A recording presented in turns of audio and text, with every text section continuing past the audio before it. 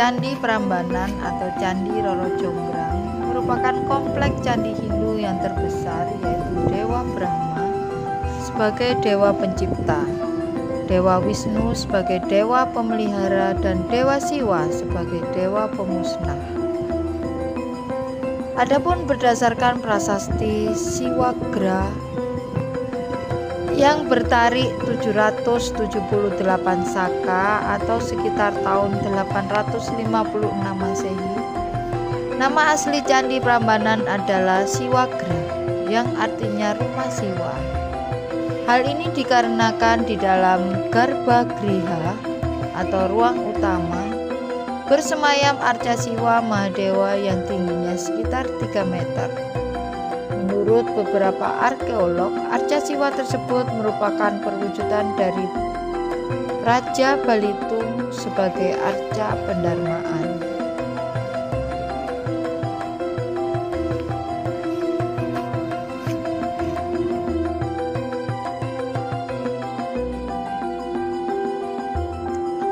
Pembangunan Candi Prambanan ini dimulai pada saat Sri Maharaja Rakai Pikatan berkuasa di Kerajaan Mataram kuno.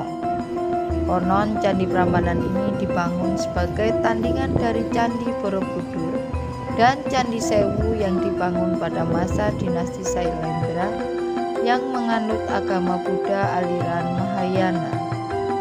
Candi Prambanan ini dibangun pada tahun 850 Masehi oleh Raja Prakai Pikatan yang untuk selanjutnya disempurnakan oleh Raja Lokapala dan Sri Maharaja Dyah Balitung Mahasambu.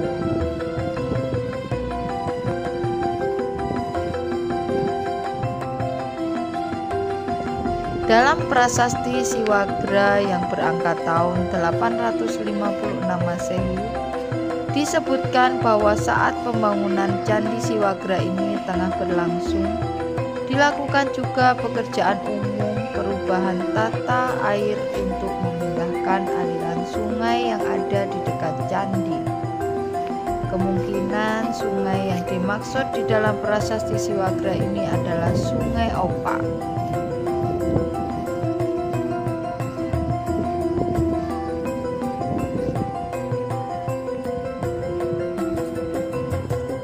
Pembangunan Candi Prambanan dengan berkala disempurnakan oleh penerus Raja Mataram seperti Sri Maharaja Dyah Daksa atau Sri Maharaja Dyah Tulodong.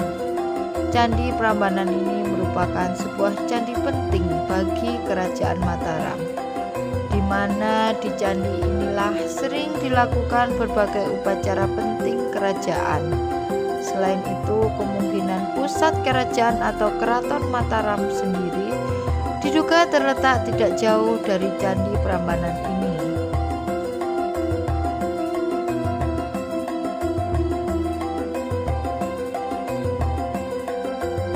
Ketika ibu kota kerajaan Mataram kuno dipindah ke Jawa Timur oleh Empu Sindok pada tahun 930-an, Candi Prambanan ini mulai terlantar dan tidak terawat lagi, sehingga dengan perlahan-lahan Candi Prambanan yang sangat megah ini pun pada akhirnya mengalami kerusakan.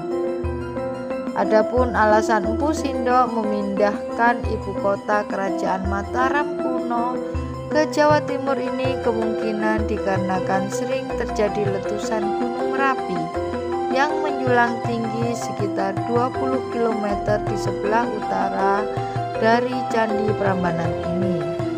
Selain itu, adanya peperangan dan perebutan kekuasaan antara dua dinasti, yaitu dinasti Sailendra dan dinasti Sanjaya.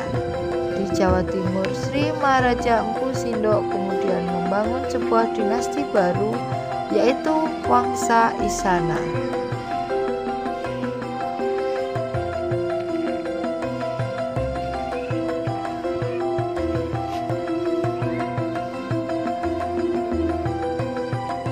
Pada abad ke-16, Candi Prambanan benar-benar runtuh akibat terjadi gempa bumi yang sangat dahsyat. Dan pada tahun 1755, reruntuhan Runtuhan Candi Prambanan dan Can Sungai Opak menjadi pembatas antara wilayah Kesultanan Yogyakarta dan Kesunanan Surakarta.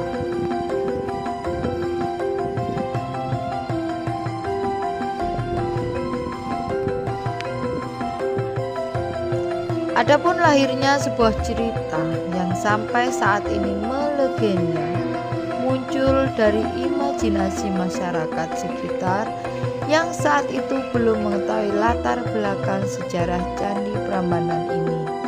Sehingga mereka berusaha untuk menjelaskan asal mula keberadaan Candi Prambanan ini dengan diwarnai kisah mengenai Raja Raksasa yang membangun Candi Prambanan dalam jangka waktu satu malam dengan dibantu pasukan jin dan makhluk halus serta dedemit.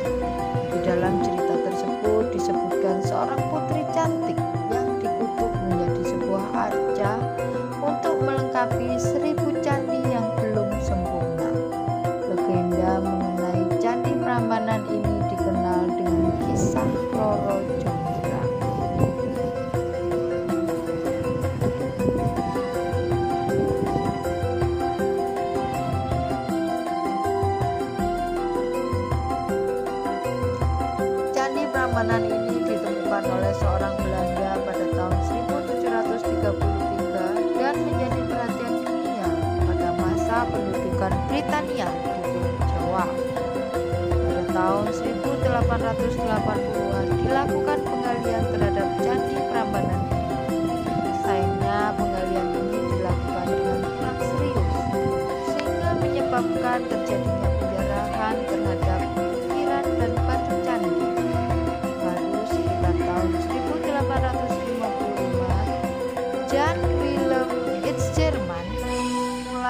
membersihkan dan memindahkan beberapa batu dan tanah dari dalam candi.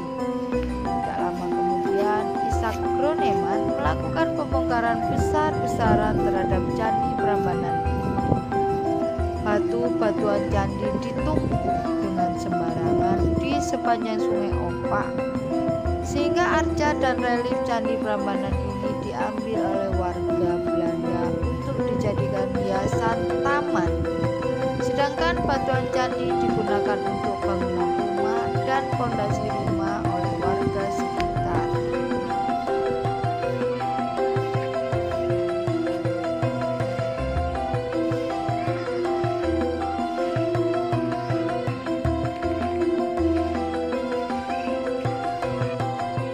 Pada tahun 1902 sampai dengan 1903, Theodor van Elst melakukan pemeliharaan terhadap bagian candi yang rawan runtuh. Kemudian pada tahun 1918 sampai dengan 1926, upaya pemeliharaan dilanjutkan oleh Jawatan Purbakala di bawah pimpinan W.C. Perquin.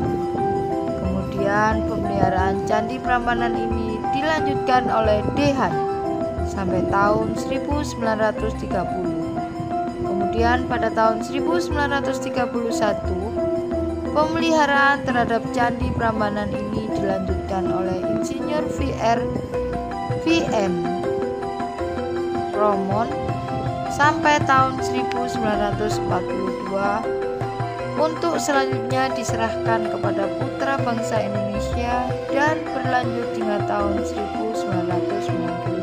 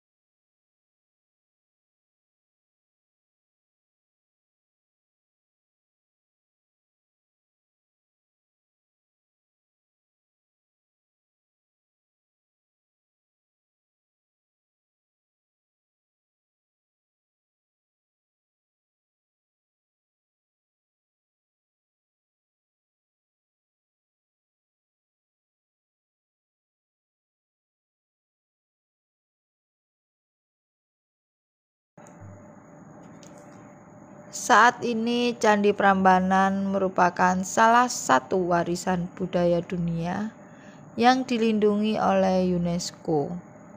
Sampai di sini dulu ulasan kami mengenai Candi Prambanan ini. Semoga ulasan ini sangat bermanfaat khususnya bagi generasi muda. Jangan lupa like, share, komentar, dan subscribe channel kami. Matur nuwun.